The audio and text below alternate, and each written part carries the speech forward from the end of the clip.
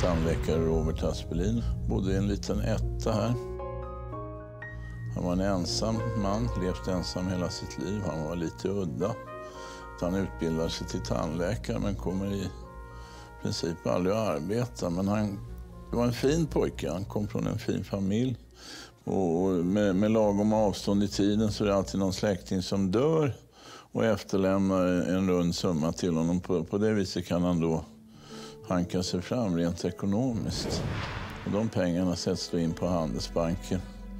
Och då träffar han Wilhelm Rodius som är kamrer där och som blir något av hans personliga bankman. Eh, Rodius är en man som vill komma sig upp här i livet och av det skälet så har han köpt en gård uppe i Roslagen. Han har pengar så pass han kan köpa gården men sen sätter han igång med ganska omfattande renoveringsarbeten. Det är då han upptäcker att, att trots att han har bra lön och sådana där saker så, så räcker det inte riktigt till.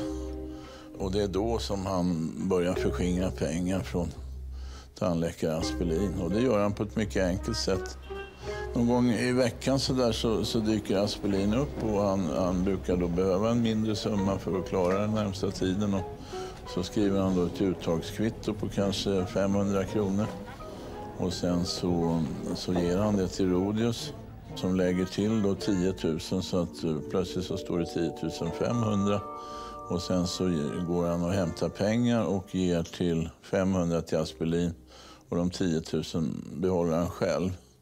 Och, och, på det där viset så lyckas han under en period förskingra då i stort sett eh, Aspelins samlade tillgångar på, på närmare 300 000 kronor. I dagens pengar så är det någonstans mellan 3 och 4 miljoner. Så att eh, renoveringarna på gården som han har köpt, de, de rullar på.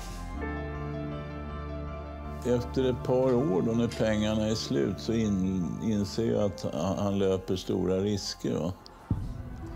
Och, och, det är i det läget som han bestämmer sig för att, att han ska mörda Aspelin för att dölja det här förskingringsbrottet. Och det första försöket så gör han redan i början av 1962. Då, då har Aspelin varit uppe i bankkontoret på, på Handelsbanken och sen så tar Rodius ut honom via baktrappan.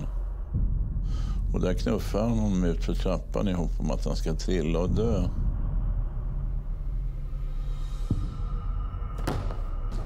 Aspelin är ju ganska skröplig och vid det här tillfället eh, närmare 70 år så att det är ju inte helt orealistiskt. Men han klarar sig i alla fall. Och eh, han har inte riktigt fattat vad som har hänt. Han, han tror möjligt att det är Rodi som har snavat och råkat stöta till honom. Så, men han skriver om det här i sin dagbok. Den 19 april samma år så går det betydligt bättre. Då har han bjudit Aspelin på lunch. Och sen efter lunchen så tar han med honom upp i sin lägenhet på Drottninggatan 95. Där han bor tillsammans med familjen. Men just den här dagen så har han skickat ut dem på landet. För nu ska han nämligen ta koll på Aspelin. Och när de kommer upp i, i, lägenheten där han bor, det är två trappor i huset, en sjurumsvåning. Då, då, så fort man kommer innanför dörren så slår han Aspelin medvetslös med hjälp av en knölpåk. Och sen så släpper han ut honom i köket och skär av honom huvudet. Och ska man tro av hans egen berättelse så är då Aspelin fortfarande vid liv eftersom det sprutar blod ur, ur de här halspulsådern på honom.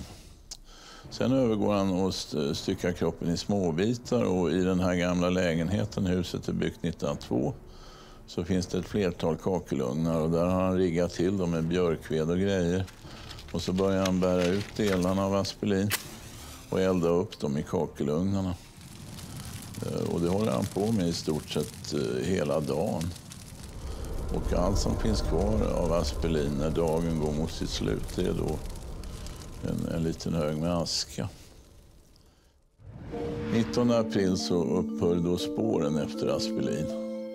Och när man sen börjar utreda det här försvinnandet, och det är drygt ett och ett halvt år senare, när den legendariske eh, mordutredaren G.W. Larsson blir chef för våldsroteln i Stockholm, då, då tycker han att det här är ett ganska mystiskt försvinnande. Så man börjar gräva i det här. Och en sak som väcker utredarnas uppmärksamhet är ju då Aspelins egen beskrivning i sin dagbok av hur han har trillat eh, utför trappen då när han ska lämna banken tillsammans med Rodius. En annan sak är en anteckning från den 19 april om att han ska träffa just Rodius och äta lunch med honom. Då börjar man titta på hans ekonomi och, och, och, ganska snart så blir man väl klar över att äh, här har det försvunnit en förskräcklig massa pengar. Och, och den 7 juli 1964 då slår man till. Då hämtar man Rodius på hans kontor på Handelsbanken och så tas han till polishuset på Kungsholmen. Där inleder man förhör med honom om det här grova bedrägeriet, den här förskingringen som man har gjort. Men efter ett par timmars förhör så erkänner då bankkamrern Rodius att jo, han har faktiskt förskingrat de här pengarna. Så, så den biten är ju då klar. Och, och något mer utöver det vet man ju inte. Det är nämligen så praktiskt att redan ett år innan så har det här huset där, där det mordet har utspelats, det har man rivit. Så det finns inte kvar längre. Eh, ändå så säger förhörsledaren, som är en annan sån där legend inom svensk kriminalpolis, han heter Lars Kolander. Han har också anledning att tro att, att bankkamrern Rodius har, har tagit tandläkare Aspelin av daga. Och, och Rodius han, han, han blir då ganska bestört va? och säger att det, det, förstår han inte och så vidare. Och, och sen säger han så att nu har det tagit en så pass allvarlig vändning att nu vill han nog konsultera sin advokat. Och, och sen avbryter man förhöret och sen så sitter han och advokaten enskilt och pratar. Efter en liten stund kommer han ut och säger att jo, nu har han bestämt sig för att lägga alla papper på bordet. Och sen återupptas förhören och då erkänner han den här händelsen. Eh, och, och, eh, det är ju en ganska omtumlande berättelse. Va? Och något senare samma år, i slutet på året, så kommer eh, kamrern Rodius att dömas till livstids straffarbete för grovt bedrägeri, medelst urkundsförfalskning och mord. Och, och hade, den där mordbiten hade man ju aldrig fått styrkt utan hans erkännande. Där hade han bara kunnat skaka på huvudet.